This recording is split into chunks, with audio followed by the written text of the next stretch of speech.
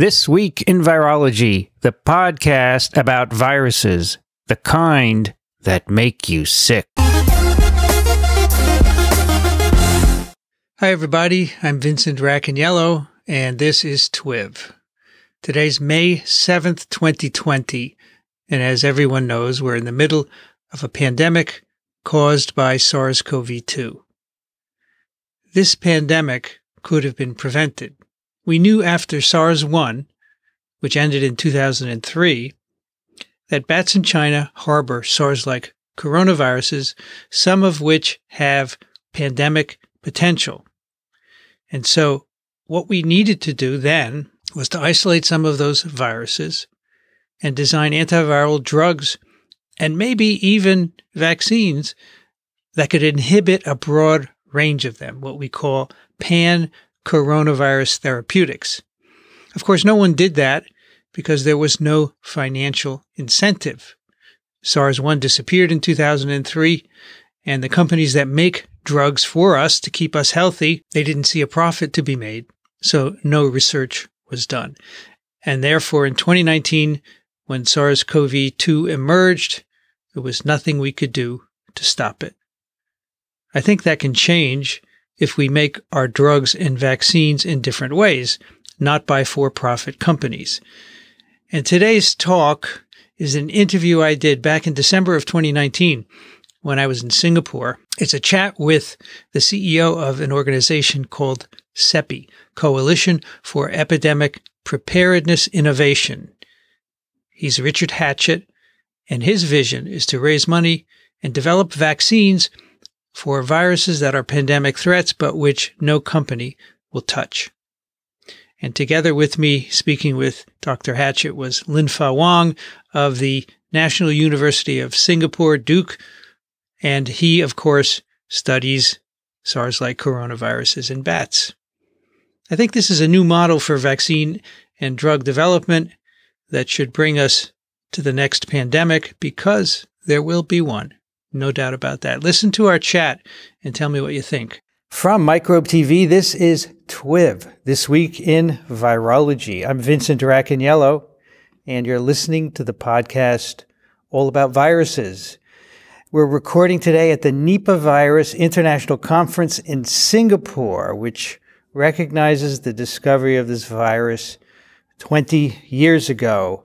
My guest is the CEO of CEPI, the Coalition for Epidemic Preparedness Innovations, Richard Hatchett. Welcome to TWIV. Hi, Vincent. Nice to nice to be here. Thanks.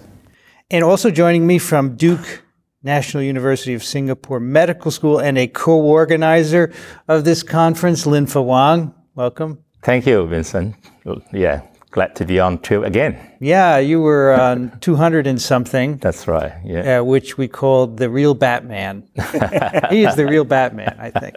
That was and, down in Australia. That's right. Yeah. And that was in Geelong. Yeah. That we recorded that. So thanks for having me at this wonderful yeah. conference. I want to talk about CEPI today. I want our listeners, which are quite numerous, both scientists and non-scientists, I want them to learn about CEPI. So let's start by finding out what it is. Great, sure. Uh, the Coalition for Epidemic Preparedness Innovations is a is a new organization. It was established in January of 2017. Uh, it was inspired. The the reason that it was set up uh, was a recognition that emerging epidemic viruses presented a, a, threat, and that the international community was not organized to develop vaccines against them. The the problem with epidemic uh, diseases, obviously, is they're rare um, market forces don't really drive the development of vaccines because vaccine development takes a long time. It's risky. Um, CEPI was set up as a, a, collaborative effort of a number of sovereign countries, uh, as, as well as philanthropic donors, including the Gates Foundation and Wellcome, to, to collect funds to support vaccine development efforts against diseases like Ebola, including Nipah, Lassa, uh, MERS, and other other emerging viruses. So, was this your idea? No, it was it was really an idea that uh, a, a, a, group of global health leaders came together. I, I did participate in some of the planning uh, efforts, but people like Jeremy Farrar, Bill Gates, uh, uh other uh, Vincent Victor Dzau from the National Academy of Medicine's um, and other global health leaders all collectively realized that we needed to do something to prevent okay. uh, a recurrence of something like the West African Ebola epidemic. So the Gates Foundation on its own wouldn't be appropriate to do this sort of work?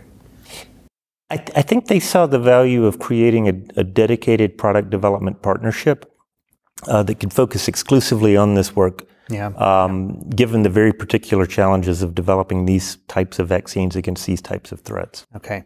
Now, interestingly, on your website, you cite the Ebola virus vaccine as an example of how we had a vaccine for many years and it took a year into the West African epidemic to deploy it.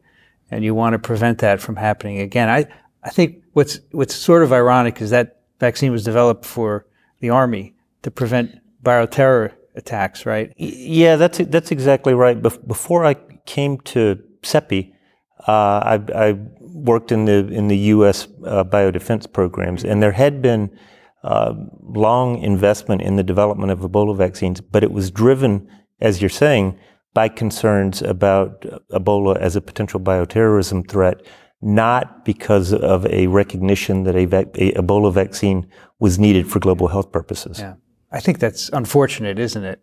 That we should really worry about people's health first. well, it, it, it, it's actually not surprising, and I think it's relevant to the uh, development of vaccines for Nipah.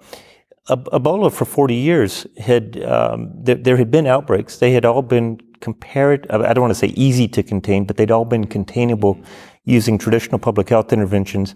And and I think the the potential for community-based transmission of Ebola um, while recognized, it wasn't viewed as sufficient to require the development of a vaccine. And before 2013, I don't think anyone would have argued that an Ebola vaccine was absolutely necessary for global health purposes.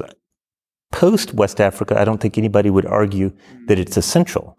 And I think the, the concern with Nipah is that, like Ebola, the, the range of the reservoir species is vast. There, there are at least 2 billion people living in areas where Nipah emergence might occur.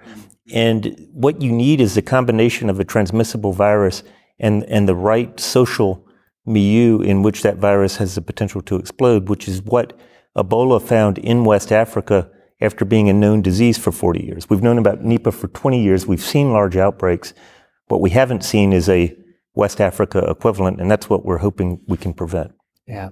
We don't want to have that to have be the impetus for another vaccine of a different sort, right? It seems to me from listening at this meeting, there's growing enthusiasm for the idea of making vaccines against rare but potentially devastating viruses and stockpiling them in case of an outbreak. Is that a reasonable reading of what's going on?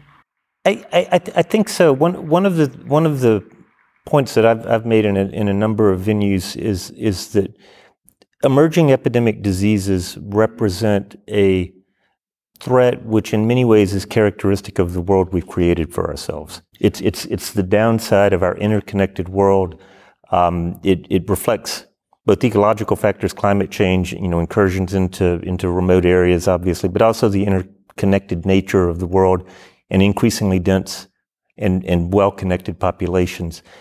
So I, I think it, it, we shouldn't think about epidemic diseases and we shouldn't put them into the balance exclusively with other global health problems like HIV, TB, or malaria, because then it becomes a zero sum game. Sure, sure. And we want to prevent that. I think, I think we need to look at epidemic diseases like we look at other transnational problems that require a collective response, like international terrorism, like climate change, um, or even, even like cybersecurity it, it's just an emergent risk because of the world that we've created for ourselves.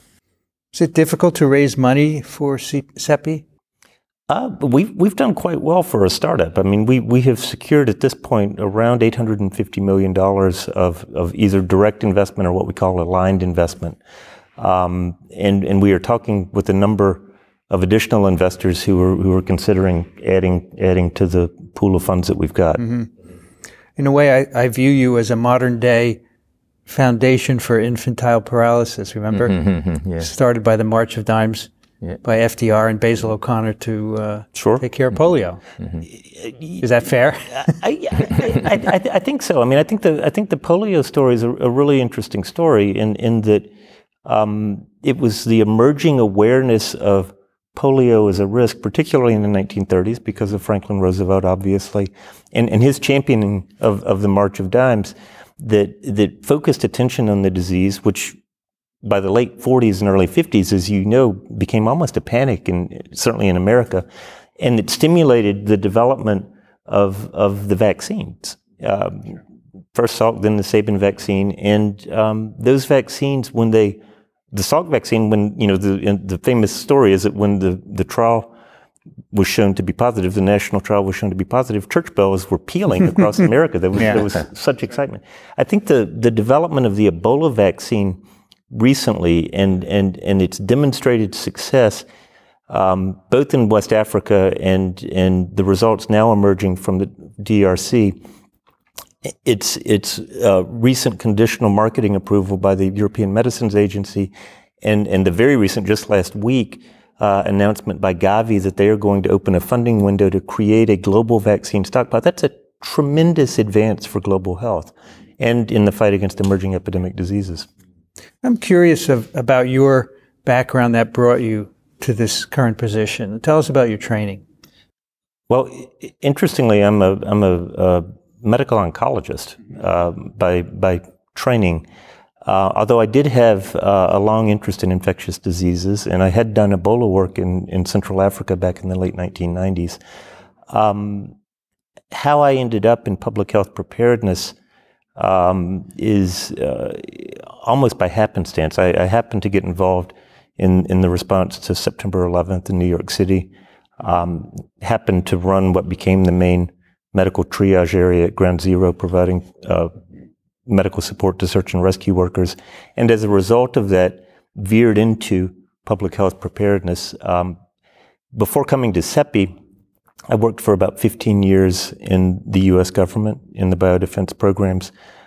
Because of my background in medical oncology, I actually worked on radiation countermeasures. Mm. So, so drugs and treatments to treat people who'd been exposed to uh, uh, high doses of radiation in a, in a terrorist context, um, and then moved to an organization called BARDA, uh, the Biomedical Advanced Research and Development Authority that develops vaccines, therapeutics, diagnostics for terrorism threats, and gained a lot of relevant experience for the challenges that CEPI faces.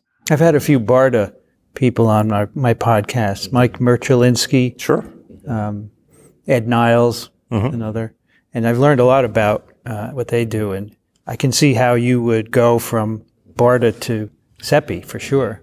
Well, well, you know, the, the interesting thing when I when I was asked to consider the the role at CEPI, um, I mean, in, in many ways, the the configuration of the problem is very similar. You're, you're trying to develop medical products for diseases that don't really occur very often, at least in natural settings. So you don't have opportunities for demonstrating efficacy. Um, you do have these these uh, challenges. The market's not driving the innovation that you need, but but clearly there's a strategic interest in having the products. The the, the difference between BARDA and operating in CEPI, and the challenge that I foresaw for CEPI was that at BARDA you at least had the benefit of operating, at least in theory, under you know a single government, where your regulatory partner, your your uh, agency that was going to deliver the products, in this case CDC, and your upstream funding partners, who were NIH and, and Department of Defense uh, research groups, um, were all nominally working together for a single end. With CEPI, you're operating in a multilateral environment where all of the organizations that are contributing have their own priorities, their own agendas, and uh, it's all really truly a coalition of the willing, and, and there's, there's no command authority. That's right. So CEPI is a co-sponsor of this meeting, right? Yes. Yeah. And I know Linfa said you, you put it together in six months. Yeah, yeah. it's amazing. That's right. I think uh, a great job, right? It, it, Thank you. he's done a remarkable job. Thank you. Thank you. It's an outstanding turnout yeah. for the meeting. Yeah. Yeah, totally. I mean, you know, I met uh, Richard in March, and uh, so this is out of the very successful meeting they had for Lassa fever in Africa. So they were thinking of uh, put up uh, for Nipah, and I was joking, you know, you cannot get a better place than Singapore because the person who discovered the Nipah virus, Right. Dr. Trout, is in Singapore. Right. And I was at one stage rated the most published Nipah virus scientist. So I said, we both are in Singapore now, and I say, if, Mm. if you're interested, we can do it. Mm-hmm. And Richard said, you know, if you do it, it has to be in 2019. And that was like uh, end of March, you know. Then I said, oh my God, that's He a- just made it. yeah, that's uh, that's uh, and then initially I think uh, Richard was looking at uh, uh, September, October, and I said that would be too stretching. Yeah. So we agreed on uh, December, early December. Okay. So you We're, had we're, we're professionally ambitious at CEPI. you you had had a similar Lassa virus meeting, is that right? so I, we were invited. We, we became one of the sponsors. We were one of the major sponsors for an event that was organized by Nigeria CDC. Uh, Dr. Uh, Chikwe, the, the executive director at Nigeria CDC, has really led the way in Nigeria for elevating Lassa as, as one of their, their priorities. And um, he realized uh, in early, actually 2019, in addition to being the 20th anniversary of the identification of Nipah, is the 50th anniversary of the identification of Lassa, Lassa, yeah. amazing. What a coincidence. in, Yeah. in, in Nigeria. And he and he used that anniversary as an opportunity to to um, hold this meeting. I think I think they um, you know expected to have a couple of hundred participants as well, and they ended up having over 500. Yeah. And it, it was it was terrifically exciting to see the energy and enthusiasm and momentum that that meeting created, and to realize that we had a similar opportunity. Yeah. Um, you know, here in Singapore to do the same thing for Nipah. I'm always amazed that Lassa, which causes far more disease in Africa than Ebola, Yeah. still there's no vaccine. And uh, I have to tell you that there is a book about Lassa discovery called Fever by John Fuller, Yeah. which I read in the early 70s, and that's what inspired me to be a virologist. so Lassa has a, a very important part in, in my career. Yeah. So what, what did you hope to accomplish by sponsoring, co-sponsoring uh, this Nipah virus meeting? Well, CEPI as an organization, I mean, we've, we've selected Nipah as, as, as one of five viruses in addition to Ebola that we're focusing on. So, so, so we've already invested in the development of four Nipah vaccines. And, and we have um, these candidates that are moving along that we're hoping to move into clinical trials in humans next year. Um, and of course, um, we had the we had the outbreak in Kerala last year that kind of raised the profile of, of again. I think we saw an opportunity, uh, which I'm, I'm glad Linfa embraced, um, to to bring the community together, um, to inject energy into the community, and and and not exclusively to focus on CEPI's activities because there are there is also progress on on a potential therapeutic, a, monoclonal antibody, as you're probably aware, um, and there's a need for point of care diagnostics, and and and there's a there is as as we heard in one of the presentations yesterday, there is kind of a virtuous circle. If you if you have therapeutics that you can offer or vaccines that you can administer, there's there's more of a, of a uh, incentive to use diagnostics and, and to increase your surveillance and increase your understanding of the epidemiology of the diseases. And by bringing the community together, and, and our goal is, you know, through uh, our partnerships and, and through the international partnerships to focus attention and, and, and basically say to the world community, Let, let's go ahead and focus on Nipah for the next several years. Let's take it off the table. Let's let's move these products forward. Let's improve our surveillance, improve our diagnostics. Um, Nipah is a dangerous disease, but there's no reason that we have to let a West Africa happen in order to to address this threat. Yeah. So tell us a little bit about the process. You said you're focusing on five viruses, including Nipah. If you're starting in the beginning, what would you do? Would you call for proposals? So the, the, the, the way we put together our, our portfolio is, is through a series of calls for proposals. I mean, CEPI was a brand new organization starting from zero, and we wanted to get started fast. And so when CEPI was established in January of 2017, and this was even before I had joined, I, I, I became CEO in April of that year. Um, they issued a call for proposals. They had initially focused on just three diseases on Nipah, on Lassa, and on MERS. And we put out a call um, globally for proposals to develop vaccines. Obviously, there were vaccines in very early stages of development in most cases. There were a couple of MERS vaccines that had reached phase one clinical trials, but no Lassa vaccines mm-hmm. um, and no Nipah vaccines had ever been brought mm-hmm. to clinical trials. But a number of candidate vaccines had been developed, you know, either in academic institutions, government institutions, or, or elsewhere. And we had um, a number of partners who were developing promising vaccine platforms mm-hmm. who were willing to work on these viruses because it allowed them to advance their underlying technology. Mm-hmm. And so we, we put the call for proposals out in, in um, January of 2017. It took us 14 months mm-hmm. to establish our first partnerships. Mm-hmm. And um, but since then, since since March of last year, we've we've put together now a portfolio. I think we have 26 vaccines mm-hmm. that we're supporting the development of. Um, the five diseases, in addition to the three that I just mentioned, also include chikungunya and Rift Valley fever. Mm-hmm.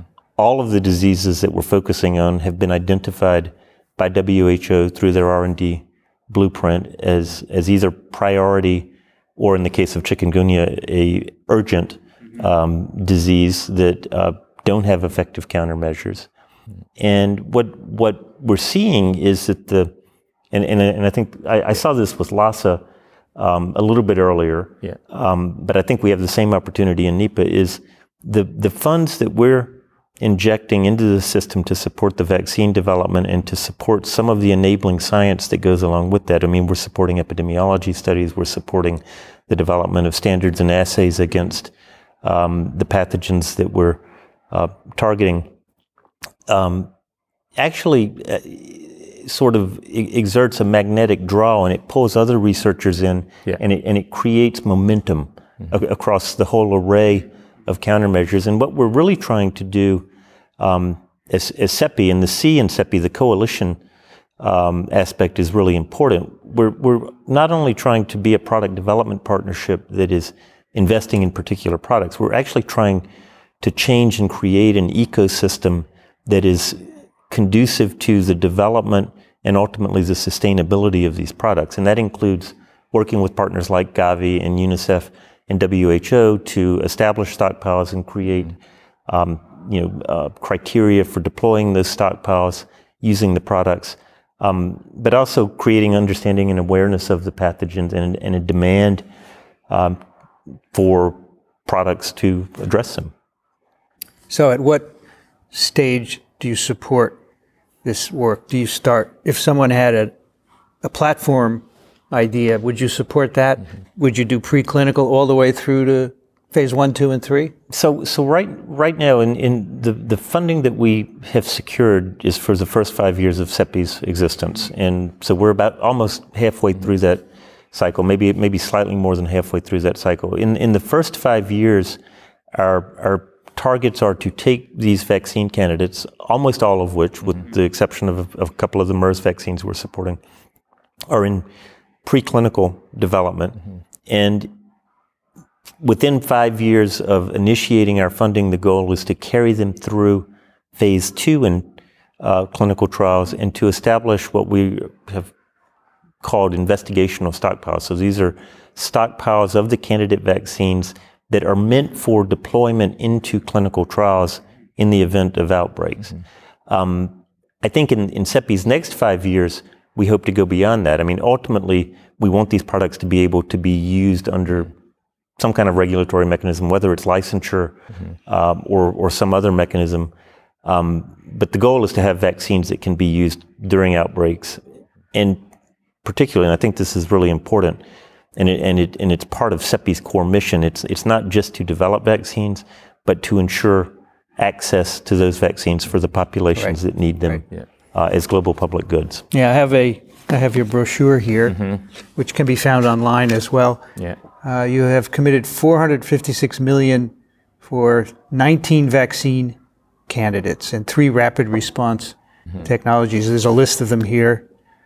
Uh, which, which do you think are going to be the soonest in clinical trial? So we have we have uh, two Lassa vaccine candidates have already entered clinical trials, Okay. phase ones. I mean, but these are the first Lassa vaccines ever to make it into human clinical trials. Um, as I said, a number of the of the MERS vaccine candidates that we're supporting had reached phase one even before our funding. But we we um, one of a, a MERS um, candidate that we're supporting um, that's that's uh, being developed by uh, Oxford um, is actually now starting a clinical trial that CEPI is funding. I think there there are some very promising Nipah candidates. One of the most promising, um, I think, in terms of being a low hanging fruit, uh, so to speak. Which, uh, fruit Batman. That's right. but um, uh, you know, is, is is actually based on the licensed Hendra Yeah. equine vaccine in Australia.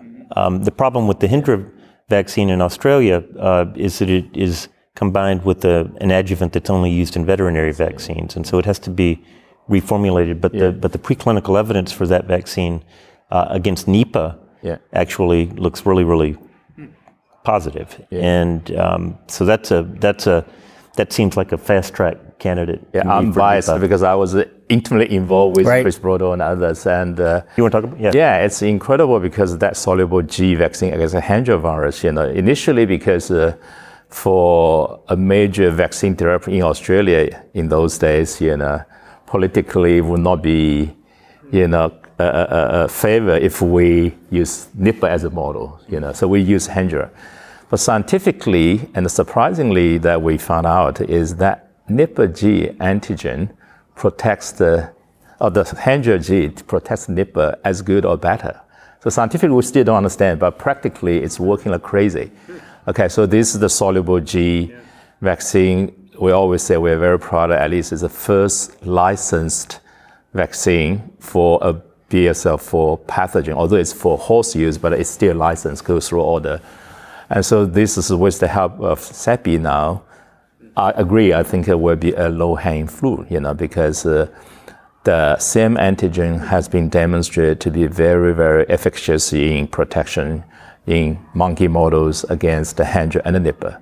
So it's really the formulation and then phase one, two trials. So you think a Hendra Yeah. G will be licensed as a Nipah vaccine? Yeah, I Amazing. think that, you know that's because all the preclinical said that it's uh, very effective, and we have done so much studies in all the models, and now you have the licensed vaccine have been utilized more than you know 600 uh, uh, uh, doses.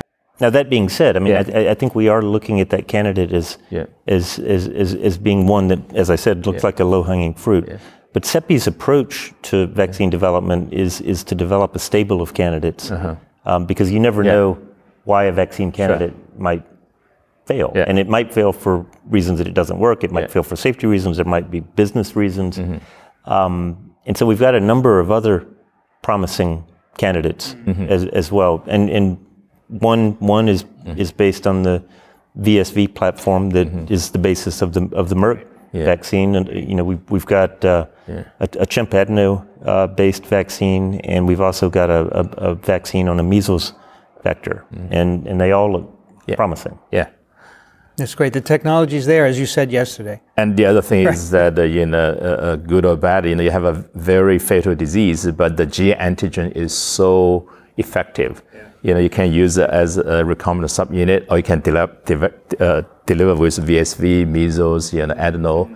Uh, yeah, at least in animal models, they were all fantastic as a vaccine candidate. Yeah. So I guess that's one of your goals for this meeting to showcase all this work so everyone can see what's going on, get ideas, fertilize, and so forth.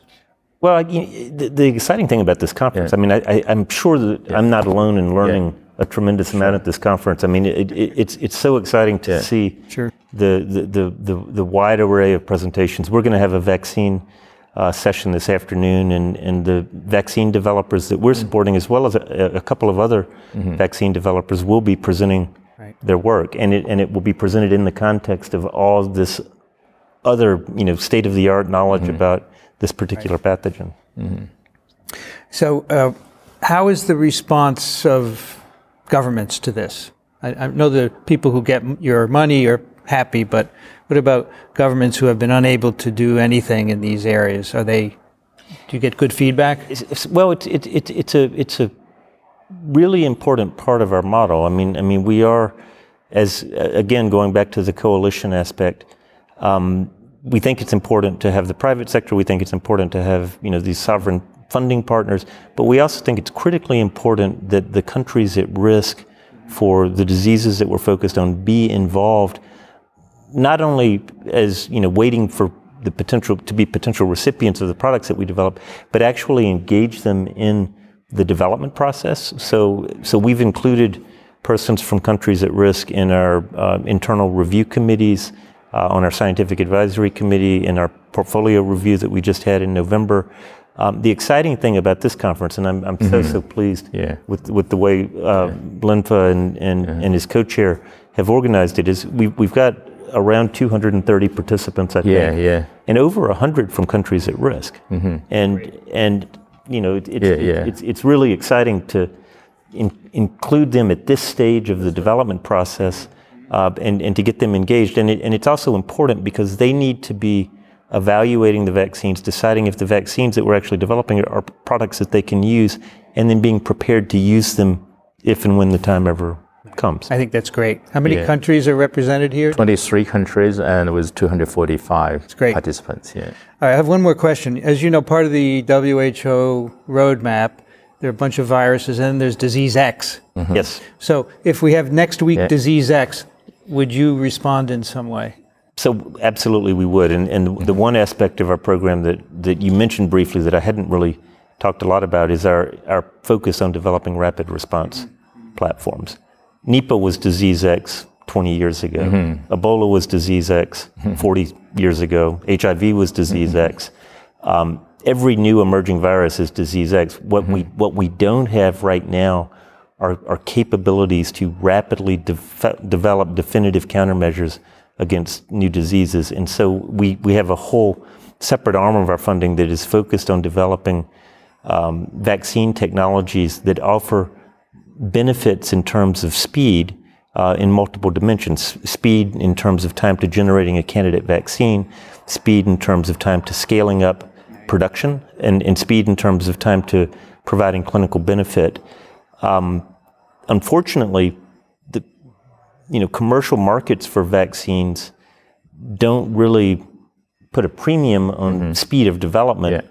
They just put a premium on, on safety and mm-hmm. efficacy. So so I think we we need to make these strategic investments to drive technologies mm-hmm. that might offer these benefits. I, I think if we mm-hmm. can develop the technologies, um, and, and, and particularly if we can develop technologies that can be easily scaled, mm-hmm. we, we potentially can offer broader social dividends mm-hmm. in terms of, of democratizing access to vaccines and potentially making vaccines available for other applications like oncology.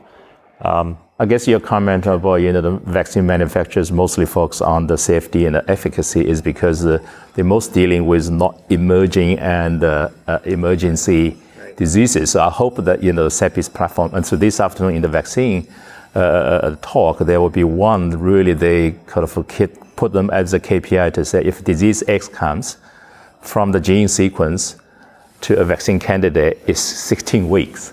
So this will be presented this afternoon. So I'm looking forward to that. So what I try to say is that mm-hmm. maybe we need a slight difference of mindsetting for developing vaccines against emerging and emergency diseases. You know, so speed right, is right. the essence. Yeah. Could I, could I make yeah. one, one pitch to your audience? Of course. Yeah. Um, of course. We do have an open call for proposals yeah. right now, in inviting um, candidates who have who have vaccine technologies or vaccine-like mm-hmm. Technologies, and that's an important, um, I, th- I, think, qualification. Um, if, if, if they have a technology that can provide an immunoprophylactic benefit rapidly, mm-hmm. and the technology, particularly if the technology looks like it could be produced at a at a price that that lower and middle income countries in particular uh, may be able to afford, we're very interested mm-hmm. in talking to you. And, and on the CEPI website, uh, that call for proposals is available. I'd invite mm-hmm. any of your listeners, uh, mm-hmm. um, you know, working in scientific disciplines to take a look at it. Well, I think it's a brilliant idea. It's been something we need, mm-hmm. and I'm, uh, I think it's great to see it working. So congratulations. And Linfa, Yeah. congratulations on a great meeting. Really you. appreciate it. So my guest today, CEO Richard Hatchett of CEPI. Thanks so much for joining me. Where can listeners go if they want to help out? Yeah. Uh, take a look at our website. It's, it's www.cepi.net. Um, we have a newsletter. Uh, we're, we're eager to connect with partners from around the world that are interested in helping address this very serious challenge for our times. Great. And Linfa Wang, thank you for joining me. Thank you, Vincent. And I'm glad finally you made it to Singapore. I made it to Singapore and uh, the science is great. I haven't been out of the hotel yet. Yeah. Maybe tomorrow. Tomorrow you should do that. I'm Vincent Racaniello. You can find me at virology.ws. We'll see you next time. So that's my chat with Richard Hatchett of CEPI. Go to their website and find out what they do, and maybe you can help them out. I think it's a great model for developing vaccines so that we'll be ready for the next pandemic. Another nonprofit, READDI, has emerged to develop antivirals so that we'll be ready for the next pandemic. This is how our drugs, our life saving drugs, need to be developed going forward. You can find TWIV at microbe.tv. Questions and comments, twiv at microbe.tv. If you like what we do, consider supporting us. microbe.tv slash contribute. I'm Vincent Racaniello. You can find me at virology.blog. I want to thank ASV and ASM for their support of TWIV and Ronald Jenkins for the music. This episode of TWIV was recorded, edited, and posted by me, Vincent Racaniello. You've been listening to This Week in Virology. Thanks for joining us. We'll be back next week. Another TWIV is viral.